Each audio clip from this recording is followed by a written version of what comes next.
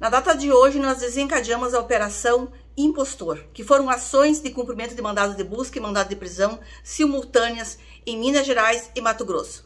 A investigação é da DEPICOI, com vítimas de Santa Maria.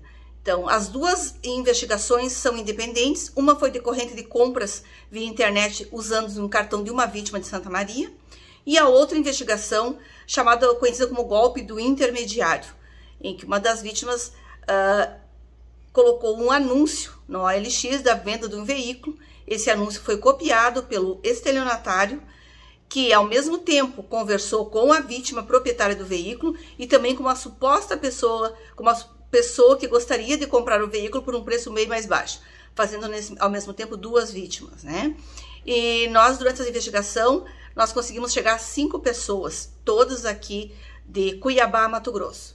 Então, em Minas Gerais foram cumpridos mandados de, de busca, foi ouvido um menor eh, que relatou o envolvimento com essa organização criminosa de estelionatários. Aqui em Cuiabá foram, então, presos os cinco, os cinco investigados, ouvidos, né? E também nós tivemos apreensões, então, total de máquinas de, máquinas, máquinas de débito crédito, documentos, cartões bancários, celulares, notebook e também dois veículos. A ação te, contou em Minas Gerais com o apoio da Polícia Civil de Minas Gerais e aqui em Cuiabá com os policiais, né, apoio da Polícia Civil de Mato Grosso.